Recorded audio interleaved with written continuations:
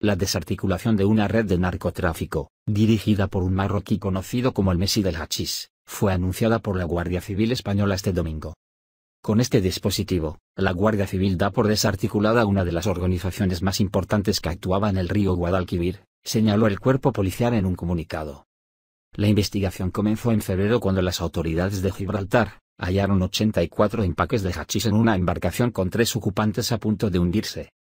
Las indagaciones policiales conectaron ese hallazgo con la organización del marroquí Abdellah El apodado el Messi del hachís, que se habría aliado con otro grupo dirigido por dos hermanos conocido como el Clan de los Lanas, señaló el comunicado. Durante las operaciones, los agentes han intervenido cinco embarcaciones semirrígidas, 17 vehículos, más de medio millón de euros, y distintas armas, entre ellas un arma de guerra,